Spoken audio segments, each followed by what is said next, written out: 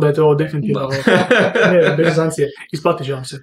Ovoga, dobro, e, sad jedno pitanje e, što se tiče života u Britaniji i, i Srbiji. Gdje vidiš nekako najviše razlike u pitanju mentaliteta ljudi i u pitanju standarda života možda ovdje i tamo, jel?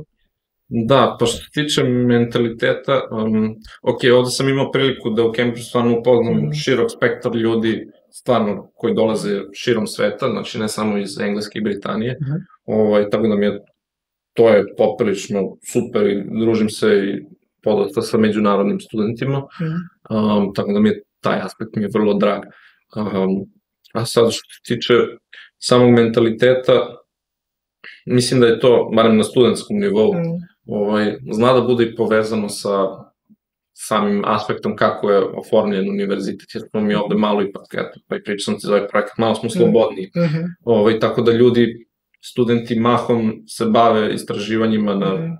traže gledaju da će se pronaći, -hmm. dok je to malo kod nas um, više direktno smo usmereni mm. um, na našim univerzitetima po Srbiji i Hrvatskoj.